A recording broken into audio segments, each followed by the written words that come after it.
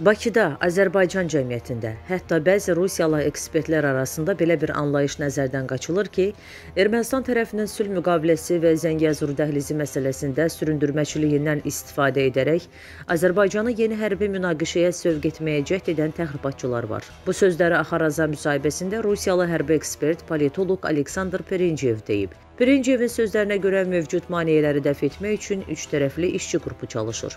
Stat. Ermənistan-Azərbaycan sərhədinin delimitasiyası və demarkasiyası məsələsinin həlli, sülh müqaviləsi danışıqlarının başlanması ilə bağlı məsləhətləşmələr aparılır.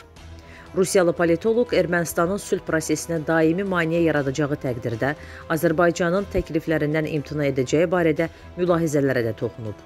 Stat. Yeni müharibə 10 noyabr 2020 11 yanvar və 26 noyabr 2021-ci il bəyanatları ilə müəyyən edilmiş sülh prosesinə ciddi zərbə vurar. Müharibəyə tələsməyin cənablar. Azərbaycanla Ermənistan arasında problemlərin sülh yolu ilə həlli mexanizmləri hələ də tükənməyib. Azərbaycanın özünün isə pul yatırmaq üçün daha uğurlu yeri var. İşğaldan azad edilmiş ərazilərin inkişafına. Statın sonu. Əziz izləyicilər, əgər kanalımıza abunə olmamısınızsa, videonun aşağısındakı abunə ol düyməsini və zınqrov işarəsini basın. Videonu bəyənməyiniz və şərh yazmağınız bizim üçün önəmlidir.